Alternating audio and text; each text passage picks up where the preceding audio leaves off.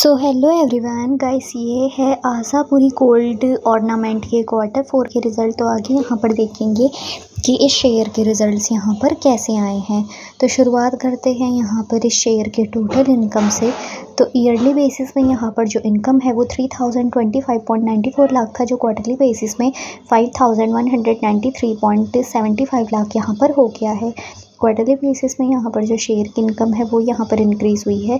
Total expenses yearly basis में three thousand eighteen point sixteen lakh था, जो quarterly basis में four thousand seven hundred seventy seven point forty lakh यहाँ पर हो गया है। इनकम के साथ साथ यहाँ पर जो है शेयर के एक्सपेंस भी इंक्रीज़ हुए हैं। अब बात करते हैं टोटल कॉम्प्रिहेंसिव इनकम की तो वो ईयरली बेसिस में two point sixty five lakh था, जो क्वार्टरली बेसिस में यहाँ पर three hundred seven point ninety lakh यहाँ पर हो गया है। अब इस शेयर के जो है अर्निंग पर शेयर को भी यहाँ पर देखेंगे। Earning per share zero point one पैसे था जो क्वार्टरली बेसिस में ज़ीरो पॉइंट ट्वेल्व पैसे यहाँ पर हो गया है। ओवरऑल एनालाइज करने के बाद देख सकते हैं शेयर के रिज़ल्ट यहाँ पर काफ़ी ज़्यादा बढ़िया रहे हैं। और यहाँ पर प्राइस अभी शेयर का जो है थर्टीन रुपये पॉइंट सेवेंटी नाइन पैसे चल रहा है।